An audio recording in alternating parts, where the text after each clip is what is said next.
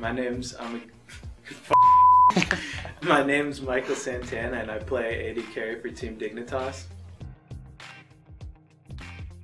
So when I started playing video games, it was like the Sega Genesis and I just kept playing it progressively more and more and I enjoyed it back then, but now that I'm in esports, like, this is cutthroat, this is brutal, like, I don't have fun anymore. I don't remember the last time I enjoyed myself.